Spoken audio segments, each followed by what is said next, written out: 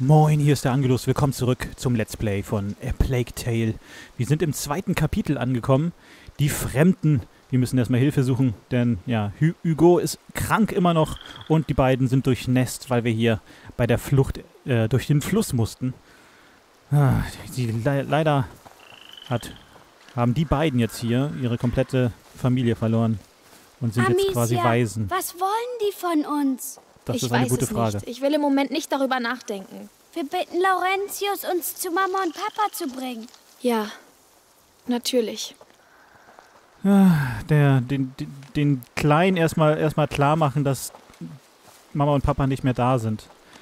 Das ist natürlich auch eine schwere Aufgabe. Der war fast sein ganzes Leben nur in den einen Raum eingesperrt. Und er kennt die Welt halt eigentlich gar nicht. Naja. Erstmal schön, dass ihr wieder dabei seid in der heutigen Episode von A Plague Tale. Oh, guck mal da oben. Das ist, das ist, äh, ah, das ist ein Kloster oder eine Kirche, ne? Also wir sollten uns doch lieber von solchen Gebäuden weghalten, wenn die Inquisition schon hinter nur her alle? ist. Genau, wo sind alle? Und was ist eben noch alles äh, passiert, als, äh, als wir geflüchtet sind mit dem Erdbeben und so weiter? Ein paar Gänse und Hühner haben wir hier. Oh, Äpfel. Hugo, jetzt nicht. Aber, Nicht anfassen. Die sind alle verdorben. aber ich hab Hunger. Wie kannst du jetzt ans Essen denken? Die sind wirklich alle verdorben. Es scheint so, als wäre hier schon lang, lange keine Menschenseele mehr gewesen. In den Ortschaften.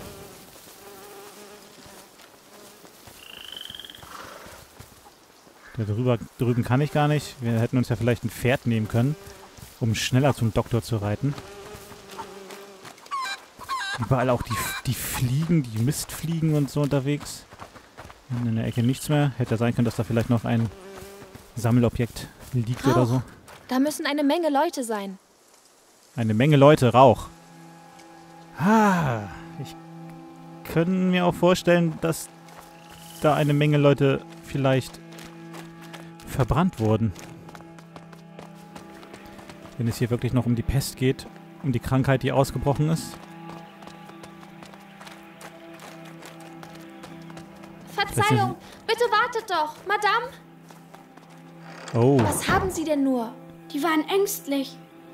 allerdings. Sie haben sofort die Türen zugemacht. Wir können hier an den Türen klopfen, aber ich denke nicht, dass jemand aufmachen wird. Von Seigneur Robert de Roon. Wir wurden angegriffen. Wir brauchen Hilfe. Bitte, es ist so kalt. Robert de Roon. Das war also der Name. Jemand hier? Ich bin mit meinem kleinen Bruder hier. Das Anwesen der de Roon wurde angegriffen. Ich flehe euch an. Bitte helft uns. und hungrig. Was ist denn hier nur los?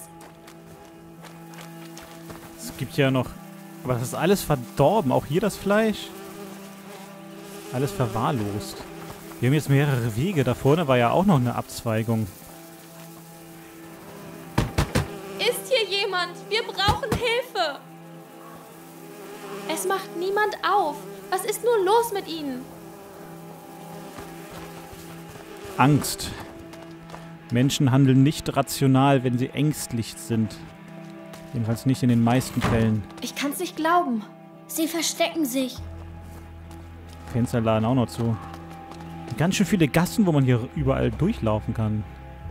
Wir haben zu lange gewartet. Ich sagte dir doch, wir müssen weg. Und wo sollen wir hin? Da ist jemand. Wir kommen zurück, wenn alles vorbei ist. Wir sind alle tot, bevor das hier vorbei ist. Das reicht. Ich will nicht mehr darüber reden. Okay.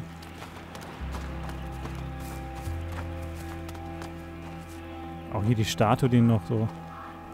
Toll diese Einzelheiten alle sind. Oh, oh, da ist schon ein. ein, Sieh ein, mal, da hat jemand was auf die Türen gemalt. ja, da Komm solltest zurück. du weggehen. Das bedeutet, dass sich in diesen Häusern Kranke befinden. Du darfst nichts anfassen. Oh, sie dürfen nicht nach draußen. Die Sache ist viel ernster. Wir könnten uns anstecken. Also lauf nicht überall herum. Ist gut, tut mir leid. Oh ja. Die Markierungen für infizierte Pesthäuser. So war das auch damals im Mittelalter. Hier war ein Feuer. Sie haben alle Möbel verbrannt. ganze Einrichtung von den Leuten. Weil sie damals noch nicht genau wussten, wie das Zeug übertragen wird. Aber hier sind ja alle, alle Türen markiert. Das Dorf ist verseucht. Darum verstecken sich alle. Die halbe, das halbe Dorf ist ja hier markiert, ey.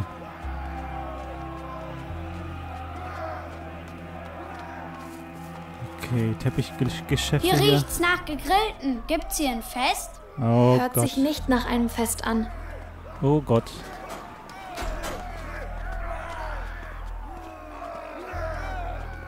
Das ist der, das, also der Rauch, der Rauch, den wir gesehen haben.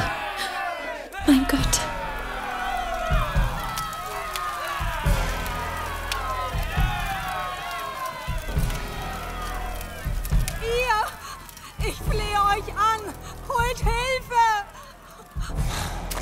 Verdammt sein. Da ist der Rest von ihnen. Was? Nein, wartet. Wir, wir suchen nur nach jemandem. Und ihr habt ihn gefunden. Eure verdammte Musik hat das dreckige Ungeziefer herausgelockt, das unsere Kirche überrannt hat. Das Geschmeiß, das unsere Kinder angegriffen und ihnen das schwarze Übel gegeben hat. Jetzt steht ihr Konrad mal vor gegenüber. Und ich sage euch, das ist das letzte Dorf, das ihr infiziert. Amicia! Komm schon. Dreckige Musik? Was ist los? Oh mein Gott. Lauf einfach. Aber warum sind sie so wütend? Wollen sie uns auch verbrennen? Oh, da vorne sind auch welche mit Äxten und Sicheln. Wir müssen uns verstecken, Amicia. Hier, los, rein da, schnell. Okay. Oh nein, da oben Hier ist sind alles gleich ruhig. die nächsten. Er wird uns bemerken. Rühr dich Ich muss nicht. nur warten, bis sie Warte. sich zeigen. Dann schnapp ich sie mir.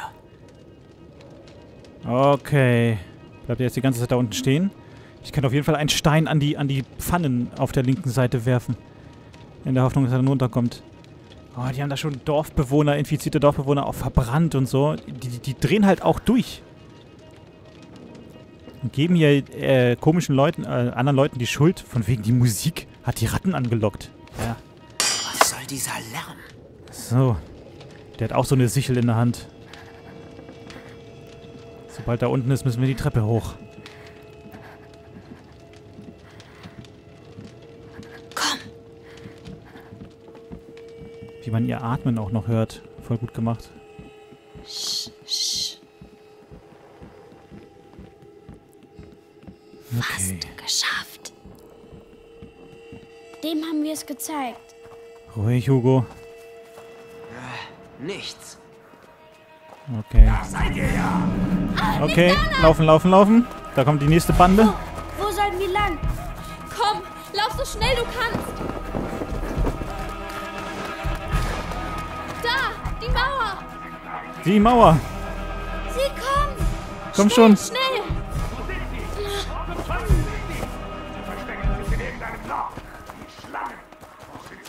Wir hätten nicht herkommen dürfen. Nee. Warum tun sie das? Sie glauben, dass wir das Böse hergebracht haben. Wir müssen hier irgendwie raus. Okay, wir können den, den Karren hier schieben. Was ist das für... Das ist eine Gerberei, wo wir hier sind. Ah, das muss bestimmt auch ordentlich stinken hier. Okay. Wir können den Wagen da hinten hinschieben. Los, schieben wir sie. Na gut.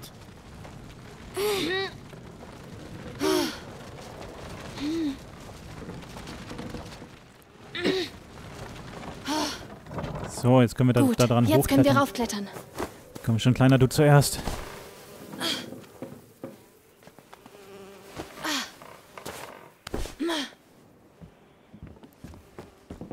Okay. Da liegen wieder ein paar Steine, die habe ich aber voll. Da oben leuchtet was an dem Kasten. Ah, guck mal, das ist auch wieder, wieder sowas. Ähm, wo, kann ich den denn hinschieben? Ah, wahrscheinlich, wahrscheinlich, um hier oben rauszukommen. Kann ich hier den Karren Die runterholen. Kette wenn, das, sieht nicht sehr stabil aus. wenn der runter, äh, jetzt sagt sie es schon selbst. Ähm, aber wenn der, wenn der runterfällt, dann kann ich Aber das ist ganz schön laut, oder? Hast du eine bessere Idee? Ja, ja, jetzt muss ich die Schleuder leider benutzen, das macht echt Krach. Erstens der Schuss an sich und dann auch noch, wenn das runterfällt. Ups. Uh. Das hat doch bestimmt Hilf irgendjemand mir beim gehört. Schieben. Ja, Jetzt mal von der Wand weg. So. Vorsicht. So, der steht auch. Die Steine lade ich aber nochmal voll auf, damit mir hier keine ausgehen. Immer schauen, dass man sechs Stück dabei hat. Kletter hoch, ich helfe dir.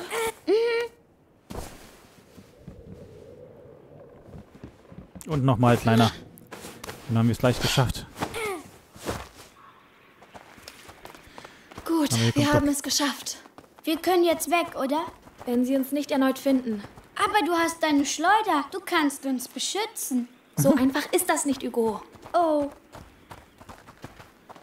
Frage ist, ob hier nicht gleich der nächste Mob um die Ecke kommt. In diesen engen Gassen hier. Oh nein, schnell, schnell! Was? Oh oh. Ich dachte eben, die, die will uns helfen, die Frau. Nein, die die ruft. sieht nicht die, sicher aus, Amicia. die Leiter sieht nicht sicher aus. Und wenn wir hier lang gehen? Die Le Leiter dauert doch zu lange, glaube ich, erstmal. Vielleicht auch mal drauf hören, was der Kleine sagt. Ähm, oder auch nicht. Hier geht's ja gar nicht weiter.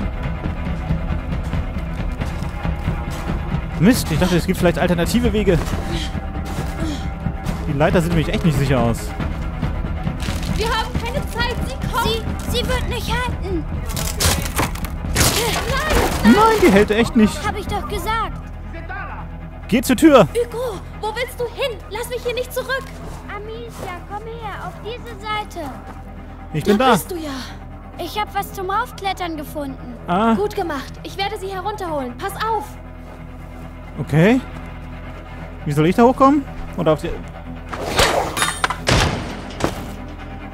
Und jetzt? Na los, komm schon! Boah, der schiebt das hier runter. Boah, Junge. Gut gemacht. Sehr schön. Ich hatte solche Angst. Tut mir leid wegen der Leiter.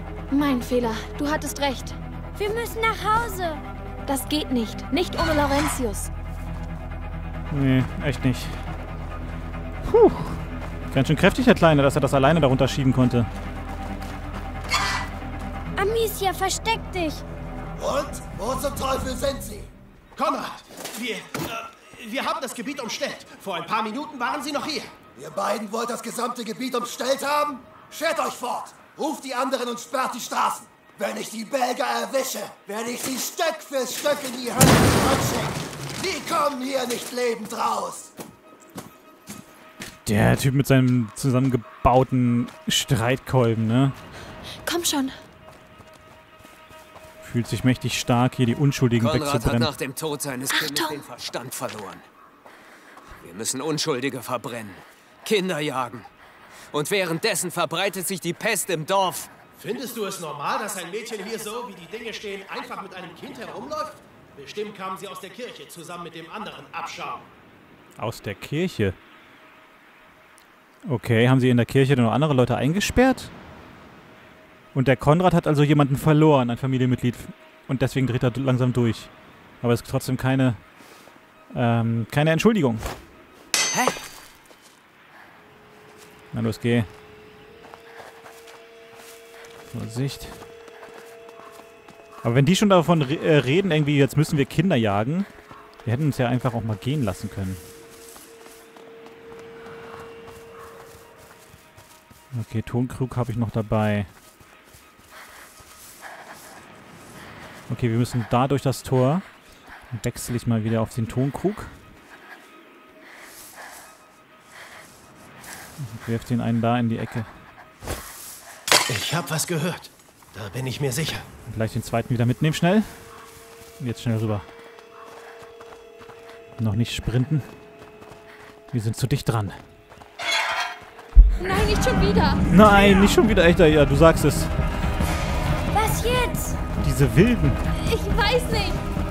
Die sind alles nur verseuchter Gebäude. Da, da, die, die Tür, die Oh Tür. nein. Schnell, bitte. Komm schon. Ich versuch's ja. Rein. Das hält Kann- sie nicht lange auf. Man kann die Türen leider auch nicht verriegeln von drin. Hier.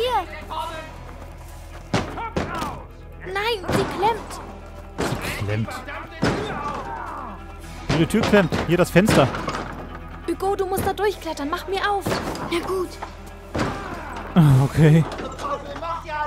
Wie das Li Licht durchs Fenster scheint, ey. Voll cool. Kannst du es entfernen? Ich versuche es. Beeil dich. Hugo, Schnell, Hugo, bitte. Hugo, er ist hier. ich brauch die Tür. Hugo, tu doch was. Oh, das ist wirklich der Konrad auch noch. Ich kann nicht mehr, Amicia. Mit seinen bitte, Kolben. wir müssen weiter. Nur noch ein kleines Stück. Nur noch ein kleines Stück. Du weißt noch nicht mal, wo wir sind. Die sind doch nur tote Schweine. Eine Sackgasse. Wir sind erledigt. Oh, oh. Hier entlang. Habt keine Angst. Keine Kommt Angst? rein. Ich hoffe, du bist keine alte Hexe, die uns kochen will. Hoffentlich hat das keiner gesehen. Viertel wütet die Seuche besonders schlimm.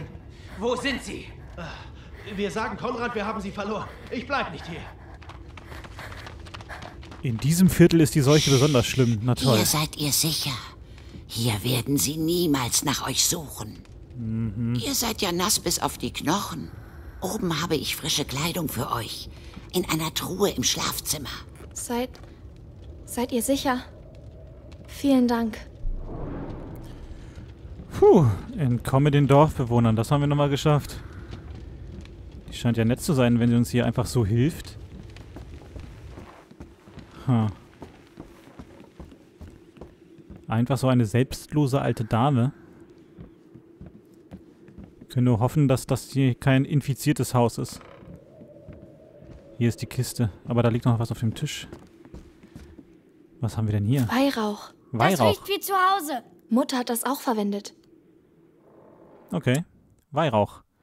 Oh, habe ich schon eins vergessen. Da, da fehlt hier ein, ein Stück. Ja, aber eben, man musste so viel laufen, da hat man gar nicht so viel Zeit gehabt, sich mal ordentlich umzusehen, weil man ja auch nicht gefasst werden wollte. Aus, äh, wenn das in, nach Reihenfolge geht, habe ich, hab ich eins vergessen. Ärgerlich.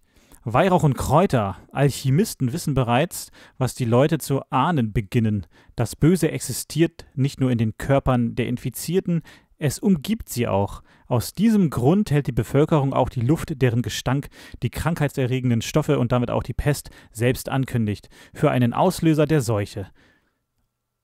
Und das große Böse äh, um das große Böse abzuwehren, reinigen sie die Luft deshalb durch Verbrennen von Kräutern und riskieren dabei, dass ihr ganzes Viertel in Flammen aufgeht. Die versuchten also schon, falls man, falls das eine Krankheit ist, die durch die Luft verbrennt, dass man da Bakterien, die dann umherfliegen, damit, damit äh, sterilisiert sozusagen. Die Luft. Naja. Hat damals in, der, in Zeiten der Pest nicht funktioniert. Aber da wurde die Krankheit ja auch voll. Das ist besser. Oh, Und bei dir? Schick. Wir müssen Mama finden, Amicia. Nein, noch nicht. Erst müssen wir zu Laurentius. Das ist dumm. Sie werden uns fangen. Hugo, wir tun, was sie uns gesagt hat. Hörst du? Hugo, warte. Junge! Warte doch mal, Boy. So. Das sieht ja echt nicht schlecht aus, das, das äh, Outfit hier. So eine kleine Armschiene, die der da hat. Also zu Zeiten der Pest wurde die Krankheit ja auch von Ratten weiter verbreitet und so. Und da sind sie halt nicht sofort drauf gekommen. Sie passen euch. Gut. Sie haben meinen Enkeln gehört. Oh, ich heiße Claire. Ich bin Amicia. Und, und das ist Hugo. Bedank dich, Hugo.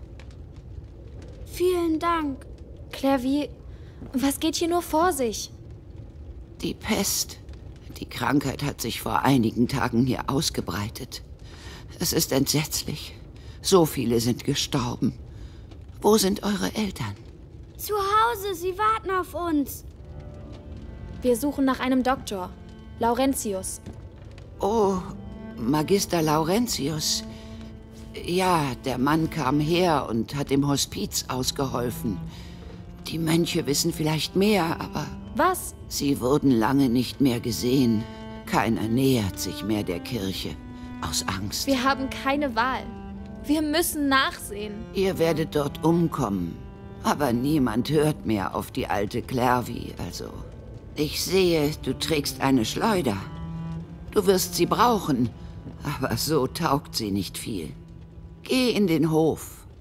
Dort findest du ein paar neue Lederstreifen. In der Werkstatt nebenan kannst du sie reparieren. Hab Dank für die Hilfe.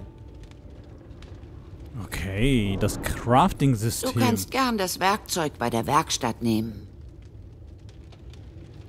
Was auch gut ist, ihr Zopf, ne, der bewegt sich halt recht gut realistisch. Ab und zu, wenn ich, wenn ich sie so bewege, äh, hängt er über die Schulter nach vorn da und dann geht er auch wieder nach hinten, je nachdem, wie sie sich wieder bewegt. Das ist zum Beispiel fortschrittlicher als äh, in Assassin's Creed. Cassandra, also ich mag Cassandra in Assassin's Creed ja auch sehr gerne und auch das Spiel sehr, sehr gerne. Aber ihr Zopf, den Cassandra hat, der ist halt immer auf der gleichen Seite. Und egal wie man kämpft oder wie sie sich bewegt, der geht da halt nicht weg. Ne? ah, guck mal hier. Gut, ich habe das Werkzeug. Jetzt brauche ich nur noch das Leder. Das Leder soll, soll im, im Garten sein. So, gucken, dass mich hier draußen keiner sieht. Hier sind die Leder. Lederriemen. Gut, dann an die Arbeit. Lederriemen, eins von acht. Ich glaube, hier muss ich nachher, wenn wir weitergehen, den Jungen wieder durch, durchstopfen, durch das Loch, damit er hier die Tür aufmacht oder so. Deutet jedenfalls alles darauf hin.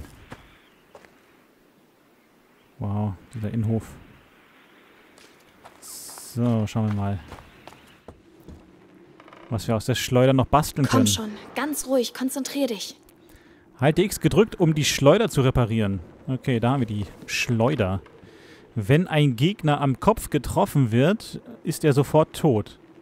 Während Amicie ihre Schleuder repariert, nutzt ge die Gelegenheit, und ein paar Materialien auszutauschen. Das verbessert die Geschwindigkeit ihrer Geschosse, sodass Kopftreffer nun tödlich sind. Schon viel besser. Mit dem Wow, wow, richtigen wow. Material könnte ich sie sogar noch weiter verbessern. Ja, habe ich auch gesehen. Eieiei. Was macht sie denn die Schleuder dann danach noch? Dank einer besonderen Behandlung der Schnur liegt Amicia die Schleuder besser in der Hand, sodass sie äh, die schneller und effizienter einsetzen kann. Also jetzt, wir, wir haben das erste Update, damit machen wir auf jeden Fall tödliche Kopftreffer. Was haben wir denn hier noch? Ein Beutel. Verringert die benötigte Zeit, um mit höchster Präzision zu schießen. Okay. Kann ich aber noch nicht bauen. Fehlen mir Materialien. Auf der rechten Seite sieht man die ganze Liste, was man da alles haben kann. Leder, Stoff, Flüssigkeit sogar. Oh, das ist Öl. Naja. Was haben wir denn hier noch? Inventar kann ich auch vergrößern. Bietet Platz für bis zu zwölf Materialien einer Art. Amicia verstärkt die Dicke ihrer Tasche für Materialien und macht sie robuster. Ich frage mich, ob man dann auch bei ihr die Taschen dran äh, verändert sieht oder so. Munitionstasche für 10 Geschosse, können wir also 10 Steine mitnehmen. Und Ausrüstung. Rennen und Ausweichen machen weniger Lärm. Ah, Amicia entfernt das, das Holz der, der Schuhsohlen. Holz in den Schuhsohlen.